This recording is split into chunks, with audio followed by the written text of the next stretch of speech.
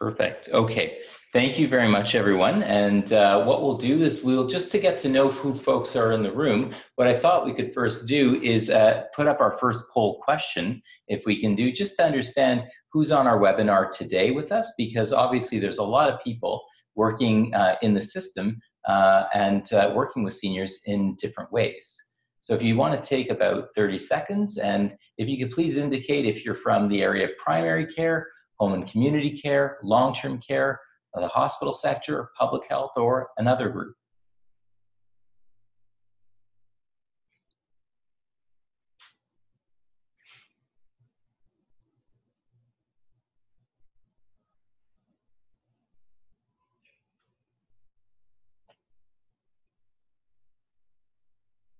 Perfect. And so what we see from our first results are most folks, about half of our folks are from the hospital sector, but we have a nice range of folks who are from the long-term care, home and community care, few folks from the primary care sector and public health. And for those who are saying other, it'd be great if you just want to take a moment in the chat box and maybe you can mention where you're from um, or what are the other how do you identify yourselves as others? So that way we understand a little bit more about maybe other different sectors that are involved. So we've got some folks from other LHINs, which is great. Obviously, remembering the RGP network is not just local, but actually across the province. Okay, so we'll get to know who you are as we move through, but what we'll do is we'll start the presentation and we'll go to the next slide.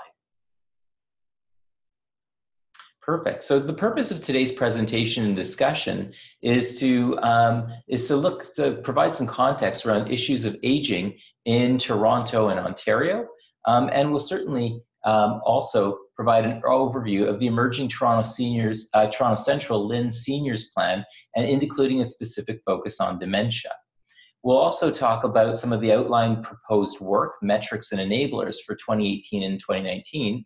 And the purpose really of today is to really begin a dialogue on how we can collaborate and align this plan with other related activities. And we have a case study of uh, a TC-LHIN client and a circle of care, and then identify other opportunities and uh, enablers as well.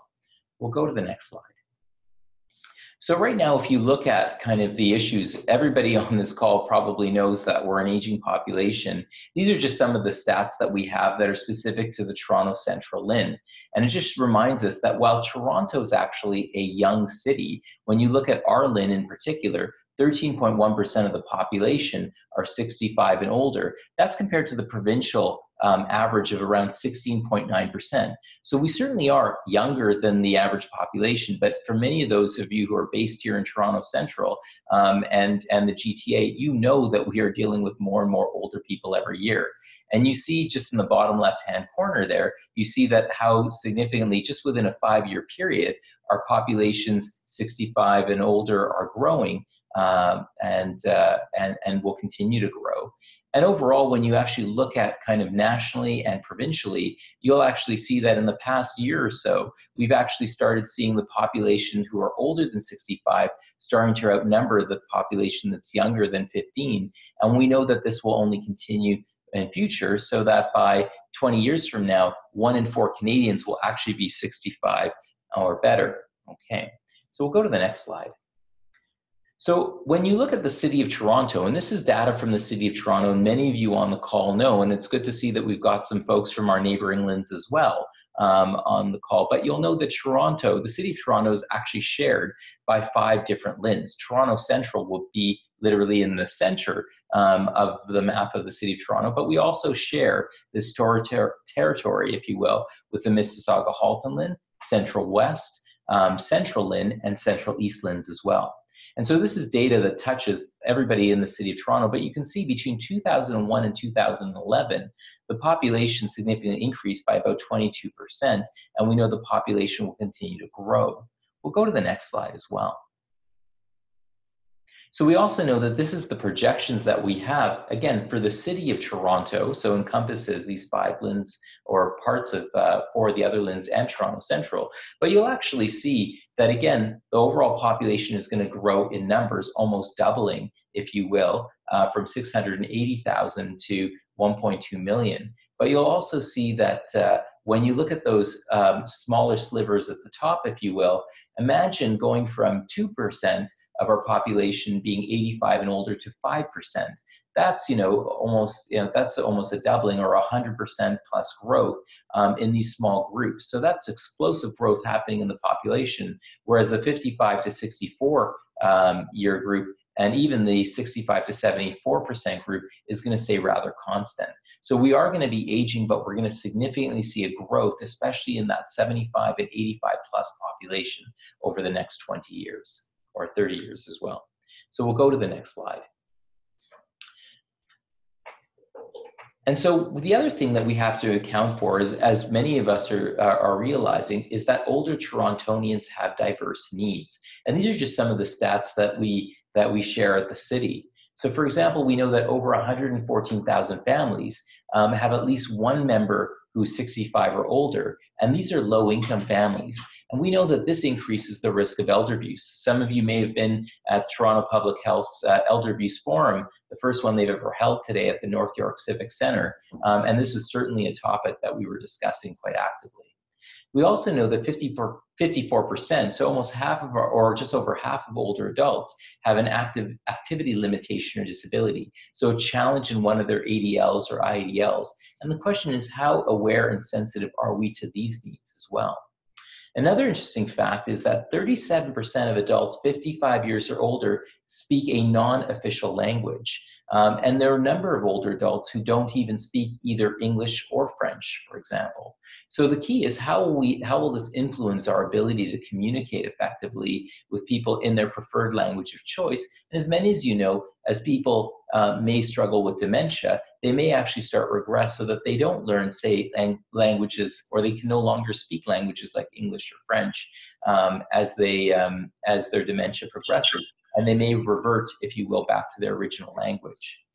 Then the final point here is that we know that dementia is a common issue amongst older uh, populations, and that 10% of those who are 65 or older have dementia. But we know that as we age, there's a greater prevalence of this as well.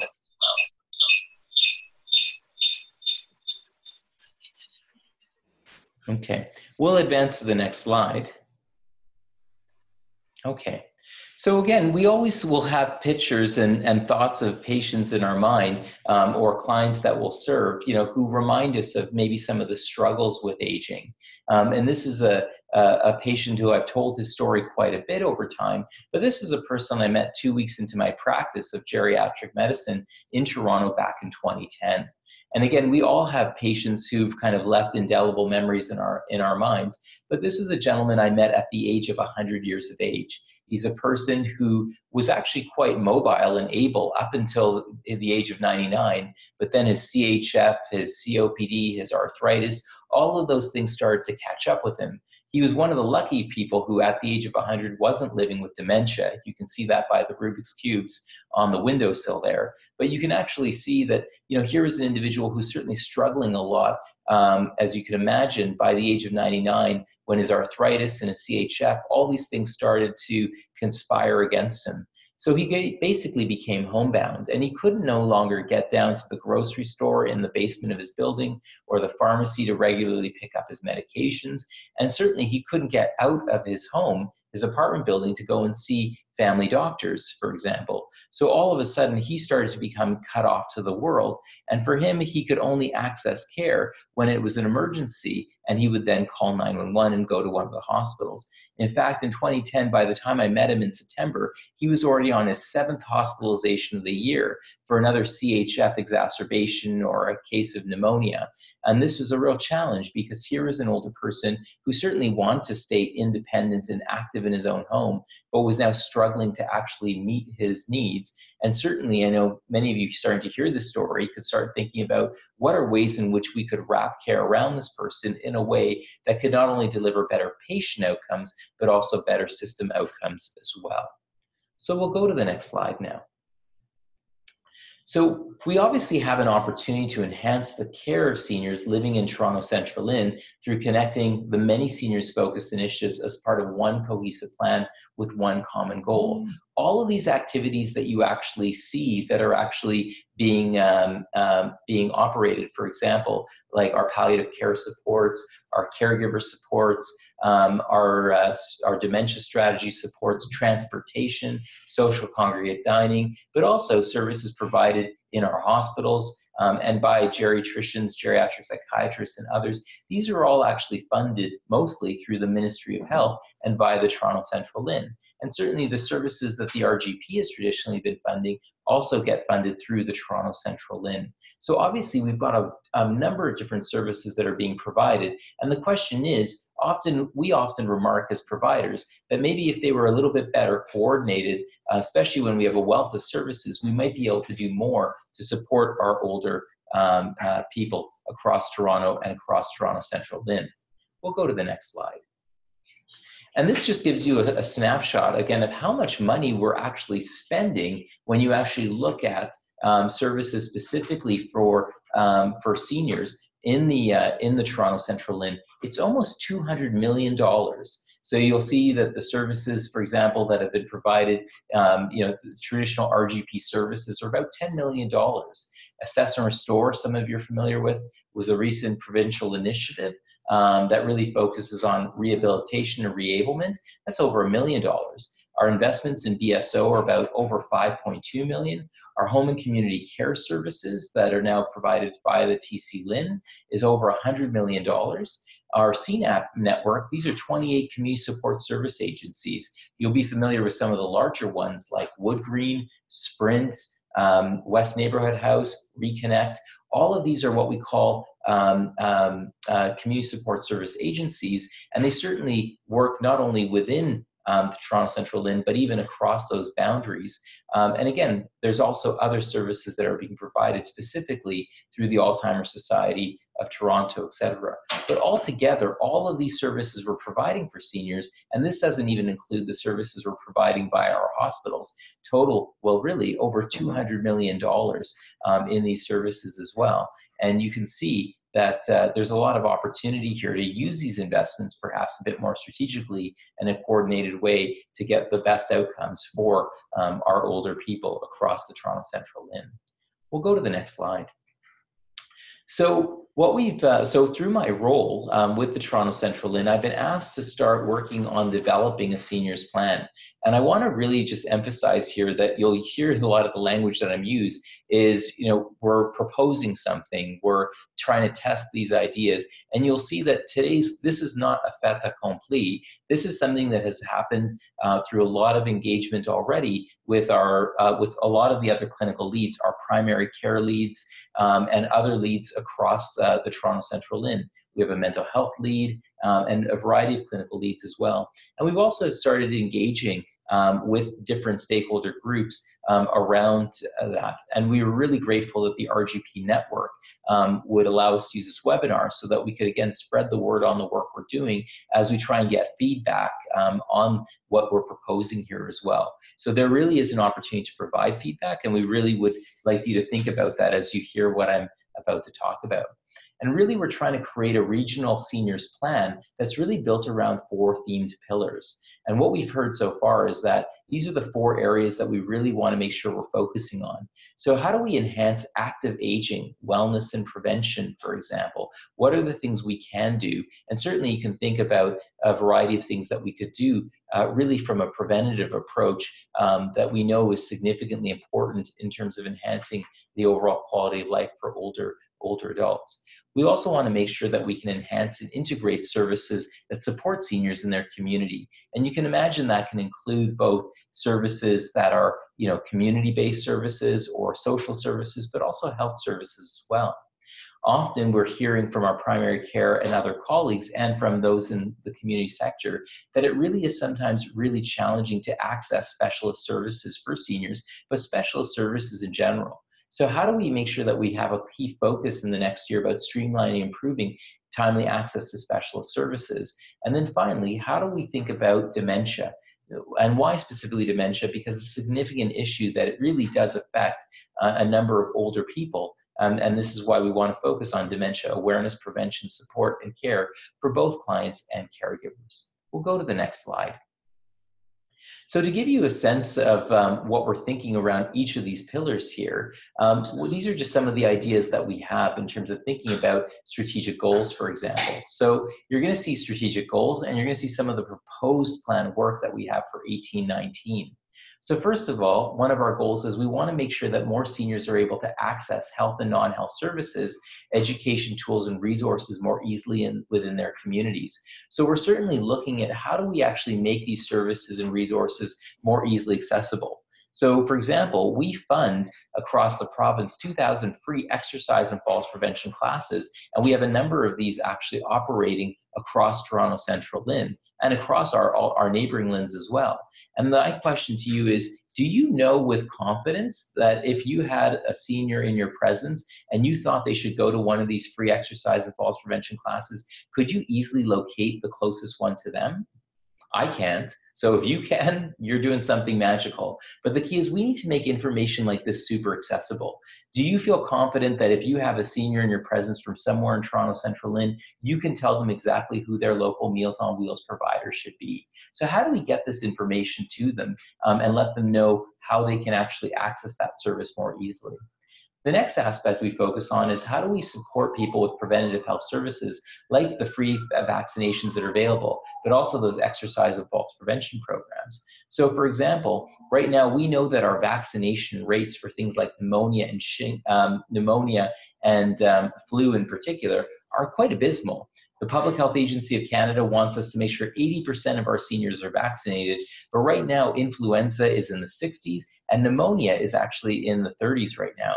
And actually, this year, for example, the high dose flu vaccine is going to be available uh, for seniors, but not through pharmacies. How do we make sure people get access to these things that are fully funded and publicly available, especially when we know that flu significantly increases your risk, flu and pneumonia, of being hospitalized and actually potentially dying? We also want to make sure that we can figure out how we can better support people um, uh, who may be experiencing social isolation. And that's making sure people know that in Toronto, the city of Toronto, we are actually opening eight new senior centers um, over the next fiscal year. Do you know where those eight senior centers, those new ones, in addition to the other ones we run, will be? And do you know how to get your older adults connected with those? So some of the things that we we want to focus on, for example, is making sure that we can actually work with our partners to increase vaccination rates, increase engagement with those seniors active living centers. That's what the SALC acronym is, those exercise classes, and services like Toronto Ride, which last year provided um, over um, uh, at least over 100,000 rides, but we want to make sure that we can get more people accessing those services that would be useful for them. We want to improve our information referral systems, and the Toronto Central LHIN is looking at some of the best practice from our other LHINs around the province to see how we can make information more easily accessible through the telephone or through web-based formats. And we also want to refine our local asset maps so that we can uh, support better matching of demands with services and better leverage technology to support self-navigation. So these are some of the ideas we have. But certainly, as you think about this pillar, if you have other ideas that you want us to consider, I'd love you to email me and I'd love you to share with me your thoughts as well, because we're just in the phase right now of consultation. And certainly, we want to make sure that we understand what could we accomplish in this next year, and certainly what could we accomplish in future. We'll go to the next slide. The next uh, pillar of our plan is really thinking about that integrating services that support seniors in their communities. And again, we want to make sure that we have more consistent standards and levels of care being provided and made available across all uh, all care settings. So again, what do we expect? What are the standards that we that we will adhere to um, to make sure that we can hold ourselves more accountable? We want to make sure that more home care services can be provided interprofessionally in a more neighborhood and population based way. So, one of the things that the Toronto Central LHIN has been experimenting, and the former TC, Toronto Central CCAC has been experimenting, was this idea of a neighborhood care teams. Because when we've been looking at, for example, a Toronto community housing building on Yonge Street, we find that we have maybe 50 clients there receiving home care, but from a total of 20 different agencies maybe we should just have one group of agencies working in that building who can actually just organize the services because it'll make it much easier for the clients and much easier for all the different hardworking service provider organizations to provide care in a more coordinated mm-hmm. way. And there are ways that we can try and test that. And that's certainly something that Toronto Central LHIN is trying to organize. And also making sure that our future care coordinators can work at a more neighborhood level as opposed to maybe having to run and crisscross the city to take care of a variable caseload. We also want to make sure, for example, that our Toronto Central LHIN funded care can better reflect the needs of current and future residents. Are there certain individuals or populations that are being neglected because they may not fit the traditional referral pathways? So we certainly want to establish some common standards for, say, geriatric medicine services, adult day programs, and other services for implementation in 1920. And certainly those of you who are involved in the work of the RGP know that they are certainly doing some of this work already to try and help start that conversation. We also want to make sure that we can support the Toronto Central LHIN's Home and Community Care Division in the creation of a functional neighborhood care team delivery model. And we also want to make sure with the new LTC investments, over a thousand new long-term care beds are going to be built in Toronto Central. But we want to make sure that as we're building these brand new bricks and mortar facilities, that they can also be leveraged in ways that, for example, may also co-locate a future adult day program or maybe a future seniors active living center. So how can it actually meet the needs of current and future residents? Okay. The next thing we'll do is we'll go to the next slide and we'll look at the third one. So how do we actually address that aspect of access to specialist services for seniors? And when some of you think about specialist services, you might think of just geriatricians and geriatric services. But so far, we've been asked to just broaden our mind a little bit more broadly because many of you might be involved with a number of the different kind of services that exist, for example. So for example, within the field of primary care, we actually have a number of uh, uh, groups that are providing home-based primary care. And so one of the things we want to do is, is work on developing a more coherent home-based primary care strategy. There are a number of other specialized programs like, for example, SCOPE, SPIN, and TIP which are really meant to support our solo family doctors, for example, who may have complex older patients and have trouble getting them into uh, various services because they're not working as part of an interprofessional team.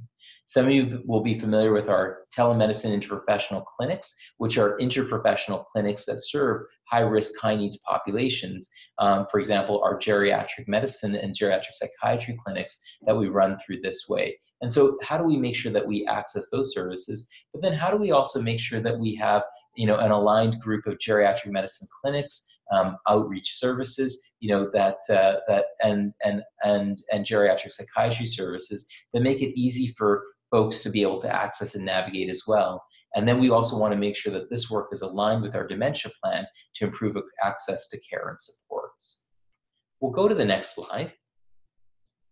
And then finally, when we talk about advancing dementia awareness, prevention, support, and care, there's work that's already going on on developing a Toronto Central LHIN dementia plan. This is not the dementia plan that I'm speaking to today, but I want to allude to that so you're aware of that work that's actually happening. Um, and that work is actually being um, led um, in the LHIN um, specifically through um, Baycrest and Woodgreen um, and uh, groups like our TAS and Dementia Research Alliance and the Alzheimer's Society of Toronto. There's a whole separate uh, piece of work that's actually happening, but I'll just give you a window in this because we want to make sure that if we're working on a seniors plan, that it also is well connected to our dementia plan. And certainly we have some dementia um, um, uh, investments that are occurring this year across the TC LHIN. That's the investments in expanded caregiver support programs being run through the Reitman Center. That's actually reaching across the province, but also um, here in partnership with the Alzheimer's Society of Toronto. But we also have the Alzheimer's Society of Toronto has received additional funding this year to actually help uh, expand the number of first link care navigators. So we want to make sure that we're making sure that those investments on top of the previous year's investments around expanding the, the behavioral support outreach uh, initiatives and other things can all be aligned so that, again, these can be seen as specialist services and supports that can really help patients um, or older adults and, uh, and family members living with dementia as well. So again, our goals here are that we want to make sure that more seniors with dementia will get timely access, diagnosis, management, and treatment. We also want to make sure that community dwelling seniors with dementia and behavioral issues can access community-based uh, support services in a timely way. And we want to make sure that more caregivers of seniors with dementia will get access to those TC LHIN funded supports and services as well.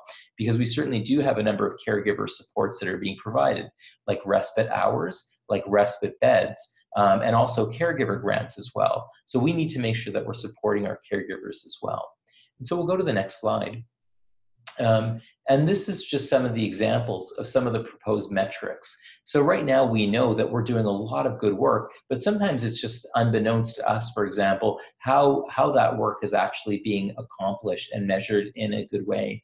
And certainly um, Susan Fitzpatrick, the CEO of, of, our, um, of our LHIN here in Toronto Central, is really keen that no matter what we're doing, every plan that the LHIN puts forward has some clear accountability metrics that are being associated. So those of you who are familiar with the report I wrote in 2012 for the ministry, Living Longer, Living Well, will see that in the back of that report, there was a whole bunch of proposed metrics. These are metrics based on what we know we could actually measure with existing data that we're actually all collecting. Um, and so there, those were proposed metrics that we actually had in the back of that. And what we did was we built on that work um, and actually looked at what are things that we could do to measure under um, measure under these four pillars that might help tell us if we're actually advancing some of those goals in a meaningful way. So, for example, you know, looking at the percentage of seniors receiving influenza pneumococcal vaccination. Um, how many ED visits are we actually having in Toronto Central LHIN um, due to falls? And then, as a balancing metric, how many people are actually participating in those free exercise and falls prevention programs? If we're getting more people into those programs, we should probably see, be seeing less falls. We also have valuable services run by community support services sector. So in Toronto Central, Sprint Senior Care coordinates amongst the CNAP agencies a program called Toronto Ride. These are subsidized community transport options for people who don't need wheel-trans and who can't drive themselves or don't feel comfortable taking TTC. This is an excellent option that's available and is subsidized by the ministry. Maybe we should know all how many people are taking this and maybe set ourselves a target that we can get more people informed about this because I know certainly a number of the patients I encounter had no clue the service exists. So how do we make sure that more people know about these things? We also know that uh, when we're when we have older adults in hospital or when they're being discharged back to the community, that's a really high risk of a time for readmission. So we can look at things like 30-day readmission rates because we have that data. And maybe if we see what we could do to focus our activities in that way, we could actually support people better. We want to make sure that we're looking at primary care, home-based primary care. And part of our home-based primary care strategy is looking at how many TC LHINs are providing and how many seniors are actually receiving longitudinal home-based primary care. Because we certainly have a lot of work ahead of us to encourage more doctors to be doing, and, and more primary care providers in general, to be providing um, home-based visits. Um, and there's, uh, there's a lot of excitement on growing this activity, but we need to have some metrics behind that. We're also looking, for example, at, at how many um, seniors are being seen by our TC LHIN geriatricians and geriatric psychiatrists. And certainly one thing that we are very conscious, conscientious about is that many of the TC LHIN providers might be providing care to people from neighboring LHINs. There's nothing wrong with that, but we want to make sure that we understand you know, are we meeting the needs of the seniors in our LHIN? But then also, how are we also best supporting other LHINs who may not have access to the same specialist services that we do um, when we may have a higher proportion uh, of folks as well? And so the TC LHIN is making sure that if we do move forward with this metric, for example, we make it really easy for geriatric medicine and psychiatry clinics to basically be able to help determine very quickly, you know, if their client might happen to be from the TC LHIN or outside the TC LHIN. We also want to look at how many folks are coming into our emergency departments uh, with dementia, for example, or being hospitalized, because certainly this can also help us understand how well our community behavioral support uh, are working and perhaps how effective they are at, helping prevent people from ending up um, in the ED with dementia as well. And again, how do we also focus on things like um, how we're supporting our our primary caregivers, for example, who may be experiencing feelings of distress and being able to continue in their caring activities. This was an example of a really powerful metric we used at the provincial level that helped show us that this actual number was climbing significantly despite more investments in home and community care. And this helped compel the ministry about two years ago to specifically start targeting funding towards the LHINs, specifically to better support caregivers um, of home care clients, so that we could make sure that we were better supporting those needs. And that's one metric that we get, for example, that comes out of the home care uh, inter assessments um, and a way that we can actually measure and take one window look at how our caregivers are feeling. So these are just some examples of how we want to make sure that we can feel more accountable for the work that we're doing, and we can measure this as well. Um, uh, as well. So I just see some questions that are coming in here, some comments, for example, um, and I know that uh, a number have come through. So what we might actually do is I might have Wendy and Caitlin who might be able to kind of see things that have scrolled through so that we can address them because I think there's some really, really good conversations here. Um, I see one question, for example, saying, will you be looking at North York General for readmissions to a hospital or Scarborough Hospital? The TC LHIN boundaries will not cover people um, straddling LHIN borders. And that's, that's exactly the point here. I'm the seniors lead for Toronto Central LHIN. I, I can't speak on behalf of the, of the of the of the, the hospitals and the um, and the work of the other LHINs as well. What we're hoping is that certainly this is the approach the TC LHIN is taking, um, and uh, and we know that a number of other LHINs actually have a seniors lead as well. And so hopefully this work um, if it resonates with the other LHINs, they'll want to look at this as well, because certainly this is data that really speaks to the fact that in the GTA, where we have five LHINs, we have a certainly uh, a number of folks as well. And I think someone said, for example, yes, North York General is in the central LHIN, not the TC LHIN, but certainly, you know, a number of uh, folks um, who live in Toronto Central will access North York General Hospital,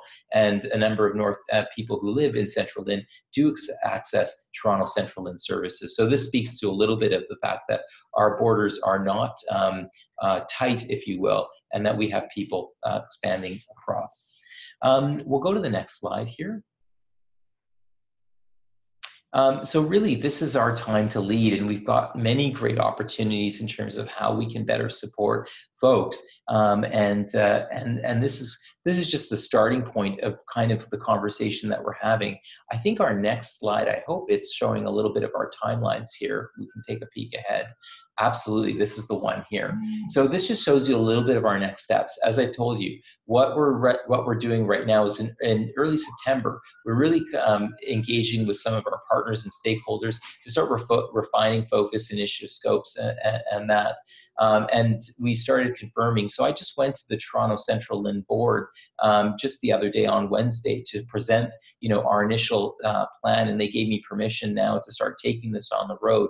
So that's why I'm very grateful for the RGP um, to certainly be willing to host this webinar today, just really hot off the press of what I've shown to the board.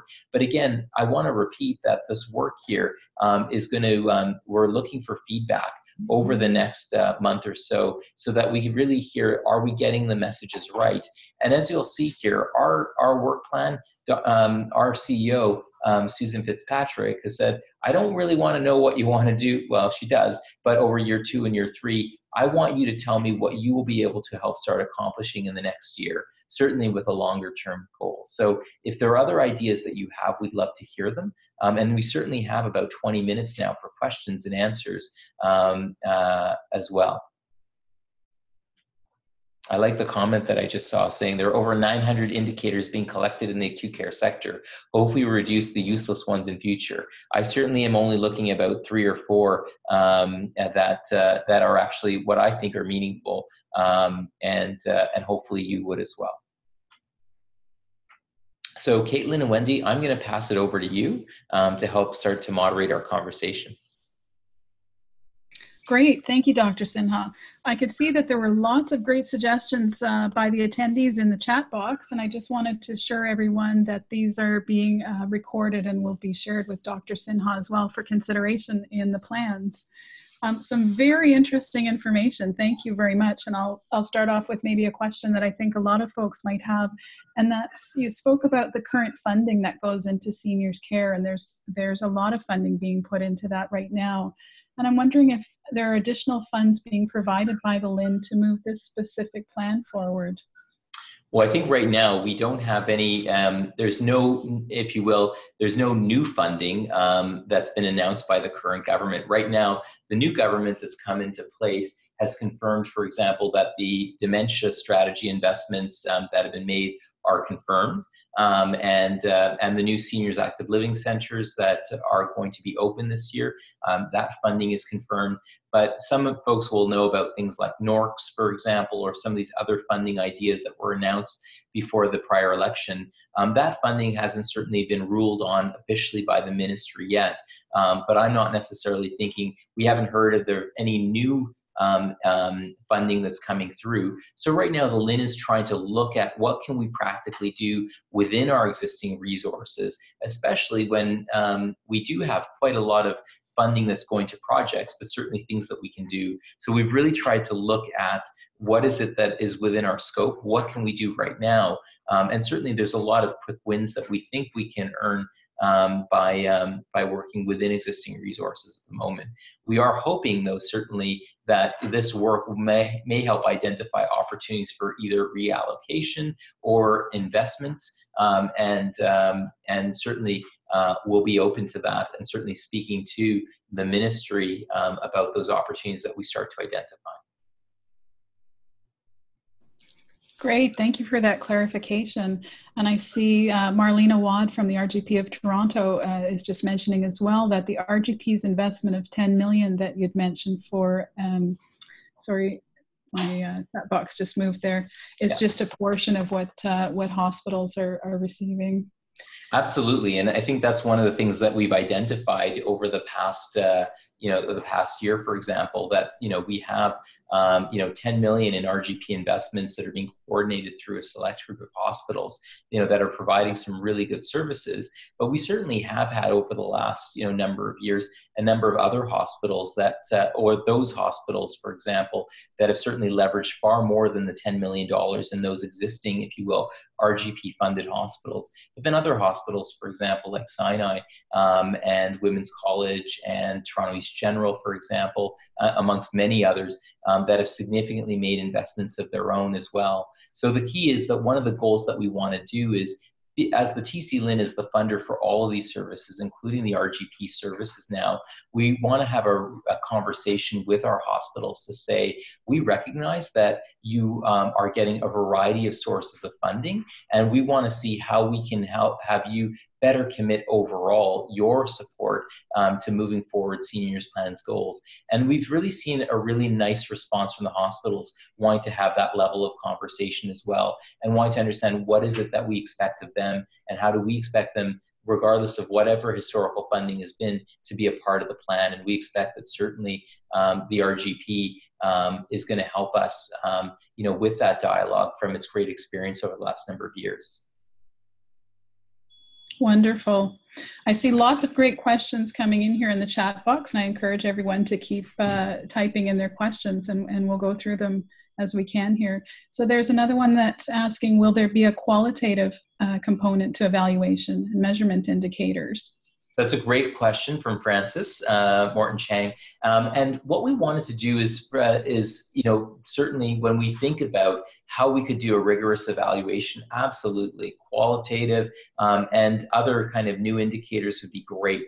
What we don't want is, I think someone had mentioned earlier, there's over six or 700 indicators being asked of the acute care sector. What we want to start for this year, our inaugural year, um, because again, a lot of those basic indicators that we talked about aren't being routinely necessarily, you know, um, reported, if you will. So what we wanted to do was Matt Morgan, who's our vice president, uh, Dr. Morgan, who's our vice president of clinical, um, uh, wanted us to really choose metrics that we know are pretty much already being collected or easily collectible. Because what we want to do is certainly within our, our, our senior sectors, we want to get people collecting data that's easy to collect that it might be data that they're already routinely collecting and we want to make sure we make it um, make it easy to be involved in something that can report back i think in future um, certainly, you know, trying to do qualitative analyses would be absolutely useful. And we need to figure out ways we can move that forward. But for this year, we're looking at things that are already being collected or easily measurable that can give us a really good window on what seniors, um, if you will, care looks like. Um, and then how do we move that forward from there? Great. Um, here's a comment from Dr. Camilla Wong uh, suggesting it would be great to have a way to ensure physicians are getting reports back from frontline providers once LHIN referrals have been sent. And as she mentions, it's sometimes uh, difficult to get this information, and it would be great to have just a spot on a referral form so MDs can request uh, getting report back so they can, you know, continue to stay in that circle of care and be informed about uh, the care that's been delivered. No, absolutely. And I think that's, again, something that I share that kind of desire as well.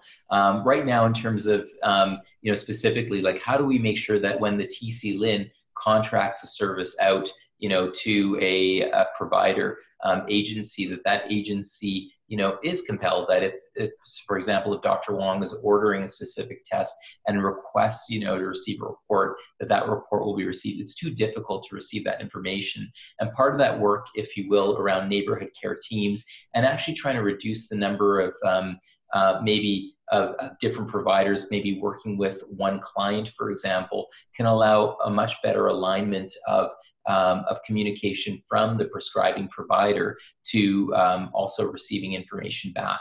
So that is certainly something that I've been advocating for more strongly, and I think there's a lot of just different moving parts towards trying to achieve that as well. Absolutely. And our audience comments are agreeing with that too. There's lots to gain by better integrating and organizing what we've got out there, right? Uh, so there's another um, question here. Will we ever see an Ontario uh, On Lok like program of all inclusive care for the elderly PACE, comprehensive community based seniors program at a LHIN or sub LHIN regional jurisdiction? So I'm absolutely determined to actually see that happen. Um, for those of you who don't know what On Lok or PACE is, it's kind of what I'm, I'm dubbing kind of as virtual long-term care. So certainly um, I just met with the Premier's office the, uh, just the other day um, where we were having this conversation because um, some of you may have seen the editorial I put in the Star right before the final election, where I, I, I invited each of the three political parties that was pitching building 30,000 new long-term care beds, um, the opportunity to um, I was giving them permission to say that uh, they weren't going to keep that promise, if you will, because what I've been trying to pitch, and I know a number of my colleagues have been uh, have been pitching, is that often, you know, if we allow our community support service agencies and home care providers more flexibility, especially for people who might be eligible for long-term care, mm-hmm. PACE is a great example where that's an offering um, that's available in the United States in a number of different states where folks who are both long-term care eligible um, and older than 65 could have this alternative where an agency could be given the flexibility to provide care in very flexible ways um, so that you wouldn't actually have to go into a long-term care home. And for those of you who are interested, Care First Services for Seniors, one of the community support services agencies um, in the Greater Toronto area, more so in the you know Richmond Hill, Scarborough area, has actually been developing their own version of PACE right now. But certainly, one of my pitches to government has been instead of building 30,000 new bricks and mortar beds, maybe we could actually take half of the funding and actually make more PACE-like models available in Ontario. And there's actually a lot of work, I have to say, going on behind the scenes in the ministry to really look at that idea. And there's actually a lot of positive receptivity. So I'm hoping, you know, in my continued role with the Ontario government, we'll be looking at some of these things provincially, but certainly they are they are looking towards the fact that you know, our LHIN, amongst others, is, is, is also showing how we want to do some more work, like the seniors plan on the ground, um, that can help uh, measure and uh, um, and look at how we can move forward. And it sounds like our attendees have uh, are giving their support for for change as well. Ellen Katz says so. Change the configuration. Our seniors deserve it. And Frances Morton Chang is saying great model, but difficult to implement a PACE or On-Lok model under current system configs uh, Seniors Care has built something close to this model, as has another province in Peel Region. So she's glad to hear this. And others are chiming in, they totally agree. Time for change, right? Absolutely. Well, again, we've changed our government, so uh, maybe this is change that will occur now.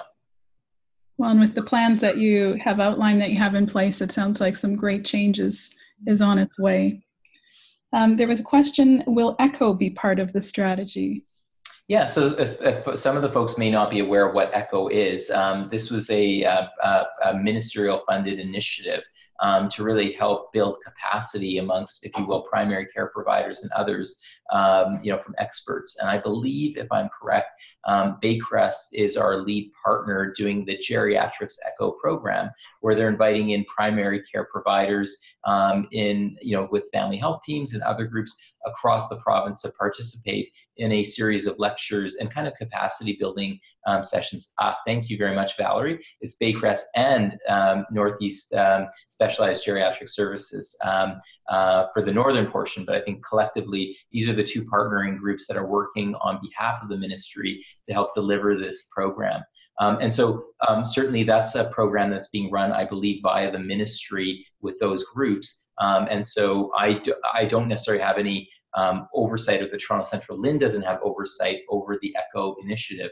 But this is some, this is another example of some of the great work that we should make sure stays connected as we think about building um, building uh, um, uh, capacity within the system and how do we align that as well. Great.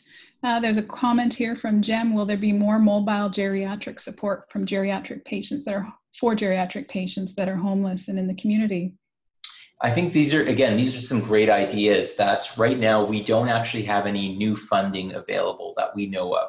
Um, there might be, you know, new funding announcements that come out um, later this year, for example. So right now, for example, um, you know, if there is, you know, an organization that wants to do that and can do that within existing resources, you know, the LHIN really wants to see that any work that people want to do to move move this plan forward would be great and would be welcome. Um, I think right now, um, as we start thinking about what else do we need, say in Toronto Central, to move the work forward, such as you know more mobile services, especially that can work with um, with um, with more homeless or underhoused seniors. I think that's a great idea. And if we can start thinking about what that would look like, what would the investment take, there may be an opportunity in future if new funds arise uh, for us to look at those models as well. So I think these are some of the things that we should um, be open-minded to. That what I've been talking about is not is not the only things that move forward. There's lots of different people and organizations who are doing great work to advance this. Um, and I think great ideas need to be supported and certainly um, and hopefully supported provincially as well. What I would suggest maybe at this point, Caitlin, is we do have two other poll questions. Maybe we can do those two poll questions now, and then um, and then uh, as you being the chair, you and Wendy being the chairs, um, you can decide after the polls whether uh, we have a chance for one last question, which you can pose as well. So the first one is, uh, which is the most important pillar of work in the proposed Toronto Central LHIN's Seniors and Dementia Plan? Um, so again, those four pillars again are enhancing active aging, wellness, and prevention. Number two, it's enhancing integrated services to support seniors in their communities. Number three, it's streamlining and improving timely access to specialist services for seniors. And number four, it's advancing dementia awareness, prevention, support, and care for both clients and caregivers. So please take a moment to determine which, which one do you think is the most important uh, for you. This will be very helpful as we consider our work moving forward.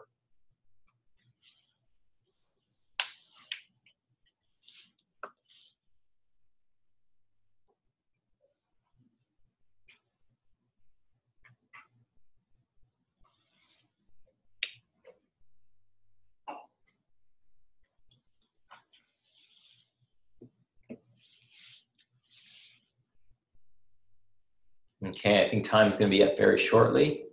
What do we have here? Okay, so really neat. Okay, so um, it seems like there's support across all four areas, but the two that seem to get the most uh, support is over 56% really want to enhance and integrating services support seniors in their communities. Um, and number four, which was the advancing dementia awareness. So that's great, and that's great feedback, and I appreciate, especially from I believe over 100 people on the webinar today. Okay, we'll go to our next poll question then. And it's basically, it's really simple. You know, using um, using metrics can help us stay on track, accountable, and achieve our goals. We haven't really done this before with many of our plans, but I'm hoping I've been really keen on seeing that we start having metrics that again we can look together as system partners to see is this moving us in the right direction or not.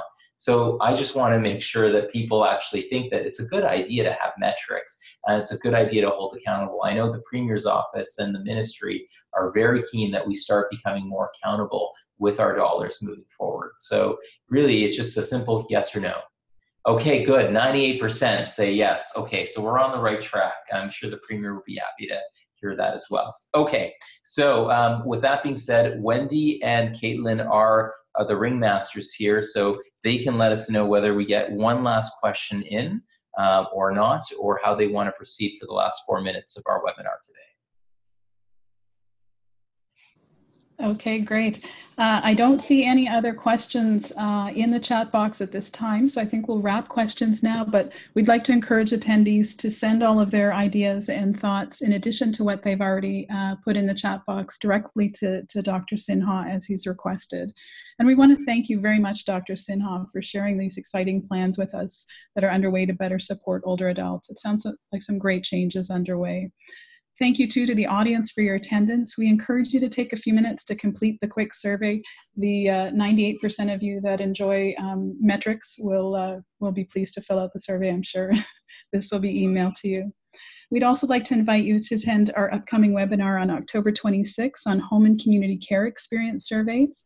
And this presentation will focus on the development of two surveys that reflect on what is meaningful to clients and caregivers who are receiving care through LHIN-based home and community care. So this will also be a very interesting webinar coming up at the end of October. registration information will be emailed soon as well. And with that, uh, we'd like to wrap up, and I echo the sentiments of the attendees that are coming through in the chat box. Thank you very much, Dr. Sinha. We appreciate your time. Thanks again, audience, and we'll see you next time. Signing off now.